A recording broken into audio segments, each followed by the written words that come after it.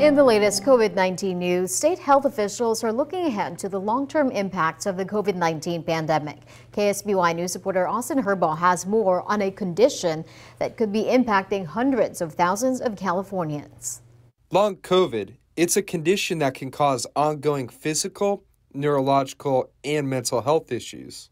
A new study out of the UK found that nearly one out of 50 people reported long COVID symptoms. If we extrapolate that to nearly 40 million Californians, that could be close to 800,000 persons self reporting long COVID symptoms in our state.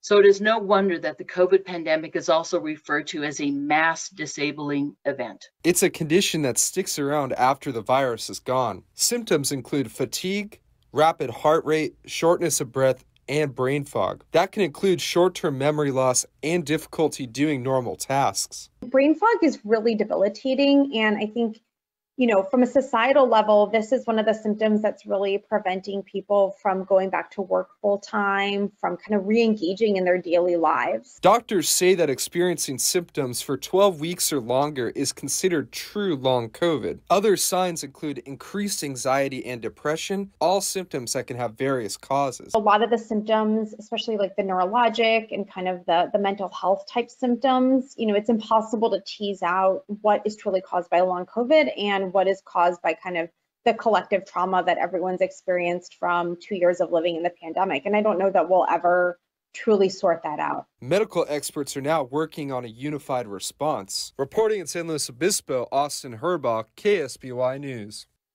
The California Senate will discuss how to deal with the ongoing impasse of long COVID during a Senate committee hearing tomorrow.